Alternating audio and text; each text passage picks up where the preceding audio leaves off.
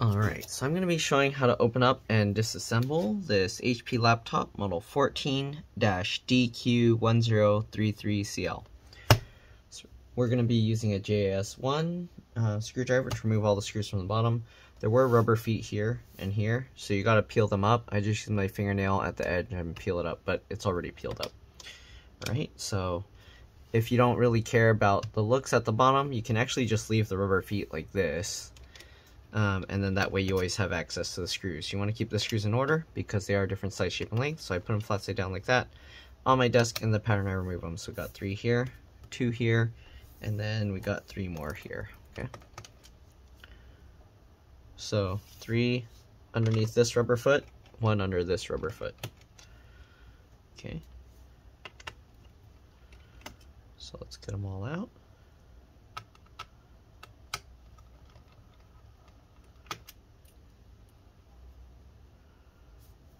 Okay, and I'm going to remove these three here.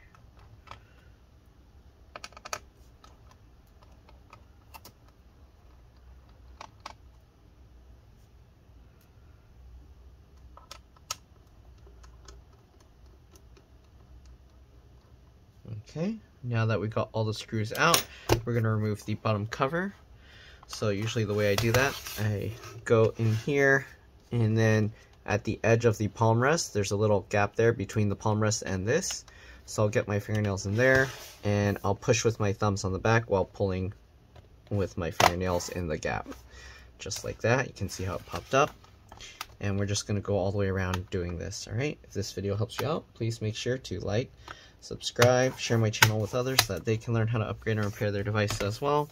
And if it helps you save a bunch of money, please consider contributing a little to the channel. Every little bit helps and allows me to continue making these videos for a living. Alright, let's go ahead and continue. Oops, it's hard to get, where's the little groove there? Okay, I was trying to find the groove, the gap here. It's hard. Come on. Camera. Why is this side stuck? There we go. Okay, so we got all that. And then the back portion, you kind of just got to wiggle it like that once you get the the edges here and everything out. There we go. Alright, so here you can see um, they actually got an M.2 PCIe NVMe SSD here. This was upgraded, I believe. Alright, and then we got two sticks of RAM here. To get the RAM out, pull these two tabs to the side, pops up. You can pull this out. And this is a PC4 2666, sorry, 2666V Alright, you can use any PC4 266V RAM. This has a 4 gig stick, I guess two 4 gig sticks. If you want, you can put two 16 gig sticks, or probably even two 32 gig sticks. CPU soldered to the motherboard, so you can't replace it unless you have special tools and stuff. Wireless cards here. Alright, right there. You got the fan here, three screws, connectors here. This kind of connector you get underneath and then you can pop it straight up, but be careful make sure you're only popping up the connector part that's in the middle, not the outer frame part that's holding it in place, because the outer part is what holds this little piece in there, and if you pry that up, you won't be able to get this back in. Right? SD card slot. These kinds of connectors have these little flip latches to pull out. Speaker here, speaker here. This connector's here, same thing, underneath from the back where the wires are going in and pop just that up. Make sure you're only popping up the in inner piece, the black part, not this grayish area. Okay. Keyboard connector here, keyboard backlight connector there, keyboard um, trackpad, sorry, trackpad cable there. And then there's a slot here that you can probably put a hard drive if you get a special adapter and you can plug it in there, it looks like. Alright, anyways, we're just replacing the battery here. So let's get all these screws out and hopefully that will fix the issue. They said it's not charging. It's been sitting for a long time, so most likely the battery sat at 0% too long and stopped holding a charge. Two screws there, two screws here. And we'll get those out.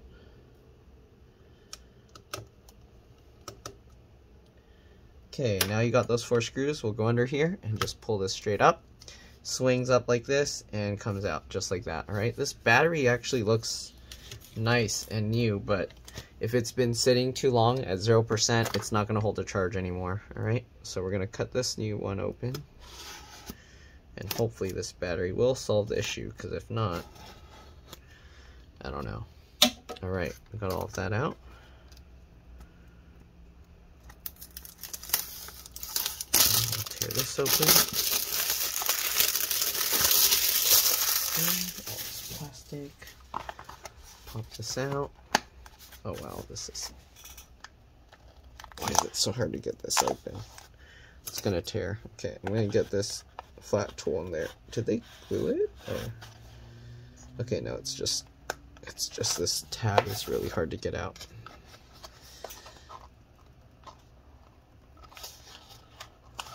There we go. Okay, so we got that out. Open this up.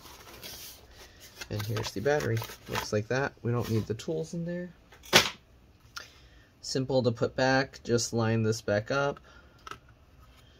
Okay, line all of this back up. Make sure that the battery connector here lines up. And then just push it down. I like to also pull these two together to make sure it's good. And then we'll just get the screws back in. Alright, and that's pretty much it. Pretty simple, straightforward, easy to do. Oh, battery model number if you need is, well, I'll show you the other one. HT03XL. Okay. Let's get this all in.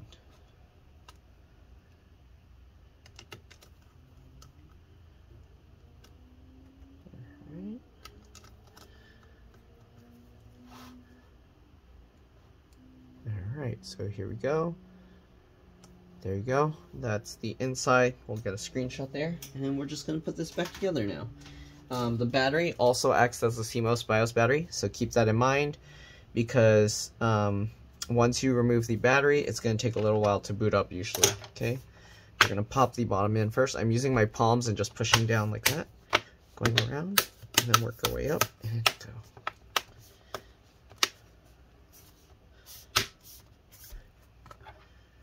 Okay. And then we'll get all these screws in.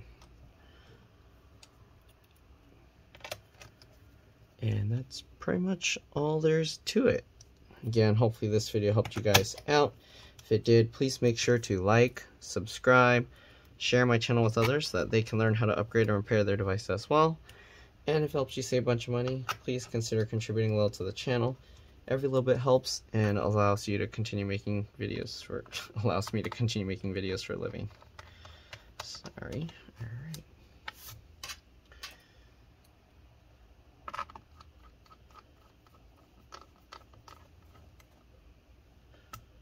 okay last screw and then we'll power it up. And we'll flip this over power this on. Is it gonna power on? Do I need to plug it in?